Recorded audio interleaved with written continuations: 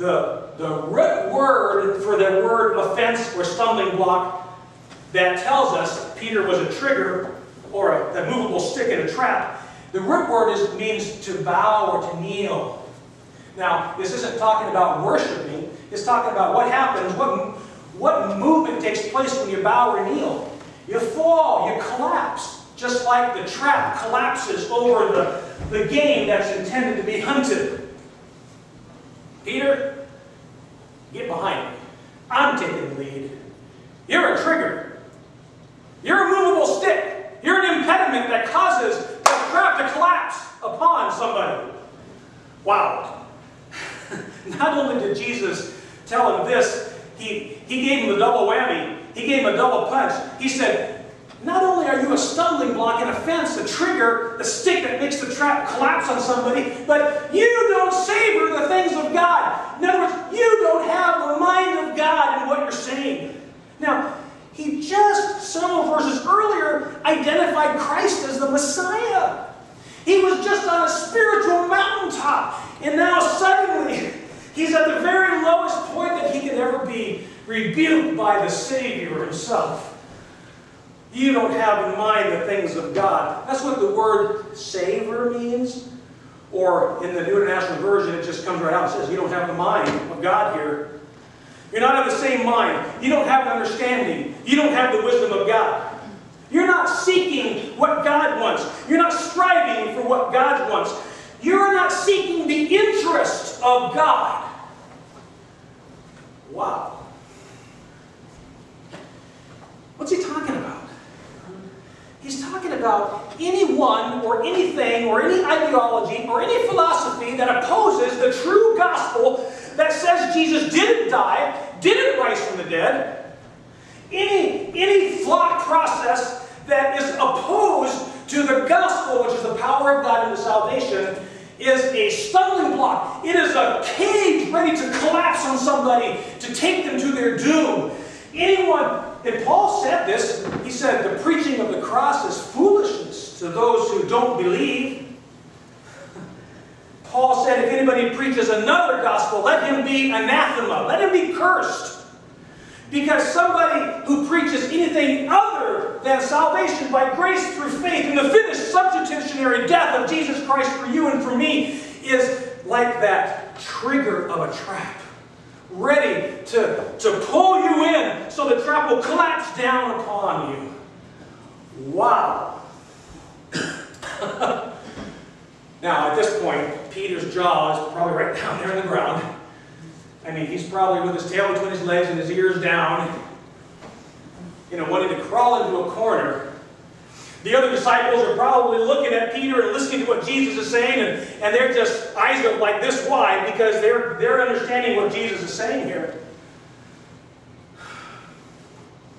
Have you ever been like that? I mean, you, you're at a point in your life you've had great spiritual victory. Every day last week you were in the Word and you were praying and you were seeking God's best and, best and interest in your life. And you're on a spiritual high, and then last night you happened to be channel surfing on TV and, and, and you were caught in the trap. and you fell face down. I mean, I don't know what it was. I don't know, I don't know what goes on in your life. You ever been up here spiritually and the next moment you're down here? You ever been up here spiritually and, and you start reading God's Word and you find out, whoa, quit hitting me around with that 2 by 4 Lord. Now I feel down here. I've been there. That's, that's, I'm there a lot, actually. Jesus says, You are a stumbling block, and you do not have in mind the things of God, but the things of men. As, as we go to the Lord's Supper this morning, I want us to think about that first time when the gospel was exposed to our eyes. And we saw it. And we saw our need. My question, first of all, is did you receive, did you really take and put your arms around Christ physically with energy and intensity because you saw you needed it? You had something to say, I want that. That's what it means to be a, to be a Christian be a born again believer in Christ. if you have done that, then are you caught in a place in your life where you don't have the mind of God about something? You don't have His interest. You're not really seeking Him. And you become a stumbling block to yourself. And as we go to the Lord's Supper, we remember the gospel. And we think about Christ and all that He did on the cross for us, all that He endured, and how He, how he suffered. You know, that word suffering in Greek is an interesting word. It literally means a sensible experience. I mean, yeah, yeah. He suffered many sensible experiences at the hands of the, of the Roman guards and at the hands of, of the elders and the chief priests and the scribes in the temple. When they slapped him around and beat him, he suffered many sensible experiences. And he did that for us. And as we think about that this morning, I hope that you have seized Christ and committed yourself as a follower of Him with a lot of physicality in your life. And then I hope that if you see yourself like Peter, he believed in Christ. He was committed to Him.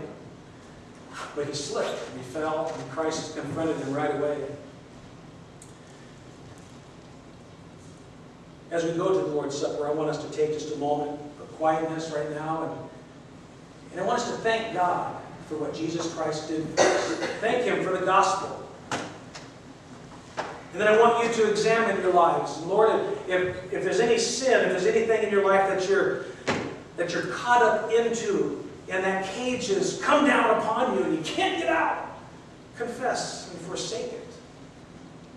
As you think in mind of what Christ did for you and for me on the cross. Let's just take a few moments right now. Joanne, I'm going to ask you to come up to the organ, but you don't need to play yet. And let's just have some evaluation and some time of thanks and praise in our hearts.